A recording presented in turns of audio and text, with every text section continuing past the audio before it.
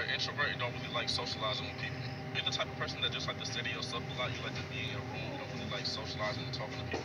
That's perfectly normal. There's millions of people just like you. All that means is that you have a strong relationship with yourself. You like to stay in your head a lot. You don't need to be around people. You are accompanied by yourself.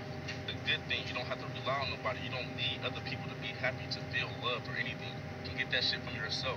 Nine times out of ten, people just don't understand you. You'd rather be with yourself where you're understood and comfortable rather than just talking to people you really don't connect with. The more time that you spend around other people, the more time that you get disconnected from yourself. You need to isolate to recharge, to find yourself again. You're around the same group of people every day and they all act the same. The more that you're around them is the more that you subconsciously get influenced by them. Now you're getting taken away from your own personality and you're picking up on their personality. Some people are just a natural introvert. They don't know why they love being isolated. It's just like natural. Their body is telling them to just stay away from people. Some people are just naturally an extrovert. They like being around people. They like to have fun. That's perfectly fine.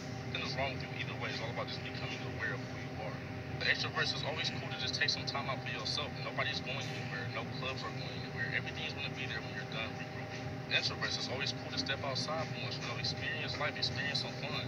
All about balance. Life is all about balance. Love y'all.